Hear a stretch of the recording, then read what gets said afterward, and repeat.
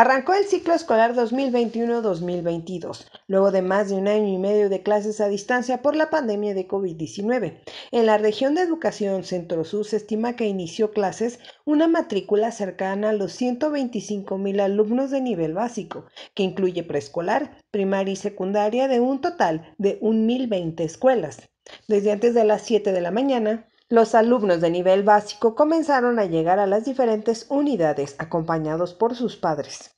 En medio de la incertidumbre de este retorno inevitable, hay padres de familia que ya ansiaban el regreso. Algunos otros no, pues aseguran que no existen las condiciones de sanidad.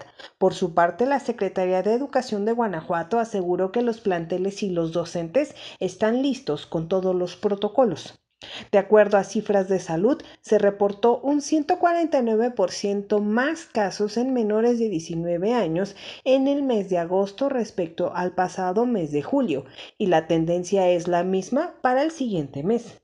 Además, hay un incremento del 250% más casos registrados en mayores de 20 años en el mes de agosto respecto al cierre del mes de julio. Mega Noticias.